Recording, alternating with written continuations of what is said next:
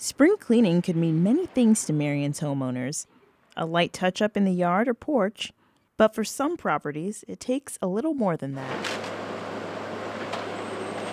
The City of Marion partnered with the Grant County Affordable Housing Corporation for the Blight Elimination Project. As you can see, uh, it doesn't take very long for us to demo a house. Uh, this house here uh, will probably, within the next three days, all will be is a uh, a lot with uh, dirt on it. Marion received $1.2 million from Indiana's Hardest Hit Fund, which has already demolished 70 blighted homes in the city. Well, when you uh, clean up dilapidated properties, you don't have all your drug uh, meth labs coming into town. You don't have all the rats that uh, abandoned properties attract.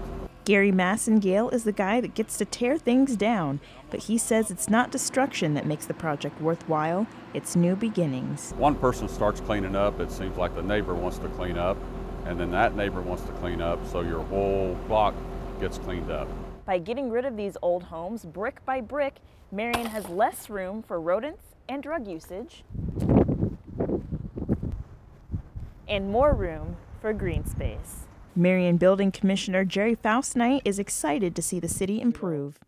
I feel sorry for individuals that have to live by homes that are falling down, that the property owners don't take care of, and we're wanting to make this just a better thing. So I guess my main thing is to make the city better. Spring cleaning may not be your favorite task, but when it helps the community, it's something everyone can look forward to. For Crossroads, I'm Brianna Garr.